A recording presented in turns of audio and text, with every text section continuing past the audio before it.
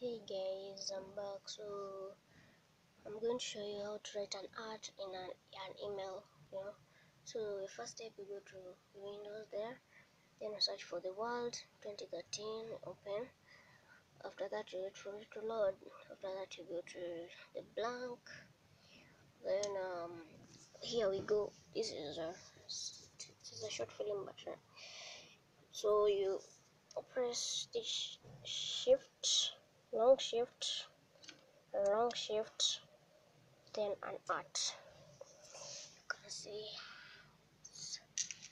so there we go that's an art how to write an art so it's a shift first shift shift long pressing second shift long pressing then an art so there we go. I hope the windows 10 if you have it any windows you can do this and right there.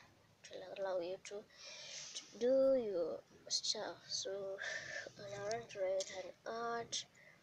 So